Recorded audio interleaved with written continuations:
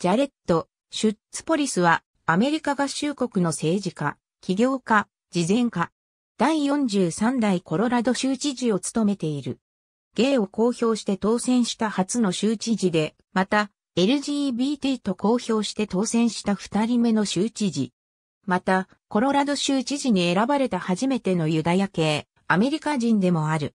1975年5月12日に、コロラド州ボルダーのボルダーコミュニティ病院で、グリーティングカード及び書籍出版社のブルーマウンテンアーツの創設者であるスティーブン・シュッツとスーザン・ポリス・シュッツの息子として誕生した。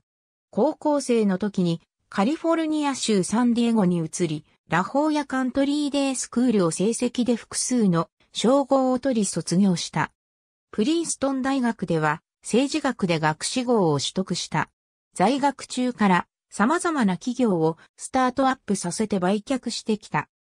大学在学中にインターネットアクセスプロバイダーのアメリカンインフォーメーションシステムズを共同設立して売却し、無料の電子グリーティングカードのウェブサイトの bluemountain.com を共同設立し、株で4億3000万ドル、現金で3億5000万ドルで売却した。1996年にプリンストン大学を卒業後も様々なスタートアップに関わり、中でもインターネットを活用した花のデリバリーサービスの企業、プロフラワーズを立ち上げ、後に2003年12月17日に PRVD の社名でナスダックに上場し、4億7700万ドルで売却した。2000年に教育委員に選出された。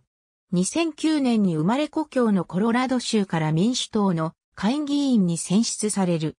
インターネットの中立性を擁護する政策、超党派のブロックチェーン部会を立ち上げ、ブロックチェーン技術の拡大と非干渉型の規制導入を目指した。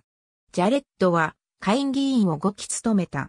議会での在職期間中、ポリスは議会の最も裕福なメンバーの一人であり、純資産は3億ドル以上と推定されている。2018年11月6日のアメリカの中間選挙では36州で州知事選挙が行われた。選挙戦では自分が同性愛者であることをオープンに語り、共和党のウォーカー・ステープルトン候補との違いを打ち出して選挙戦を戦い、勝利。ジャレットはアメリカ初のオープンリーグへの州知事となり、日本でも話題となった。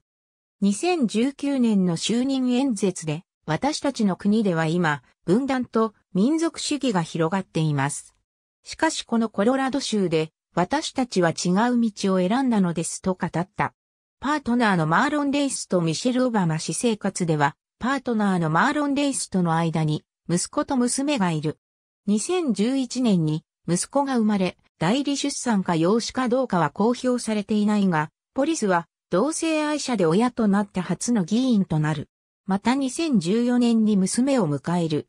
議員知事選挙の選挙期間中は公式的な結婚はしていないが、レイスはコロラド州のファーストジェントルマンとなると発表した。親として修学前教育の平等などにも取り組んでいる。2020年12月、17年間連れ添ったパートナーで動物の権利擁護活動家兼ライターのレイスが新型コロナウイルスで入院する直前、プロポーズしたことが記事となった。2020年3月23日にコロラド州の死刑制度廃止法案に署名し、アメリカで22番目の死刑廃止州となった。ありがとうございます。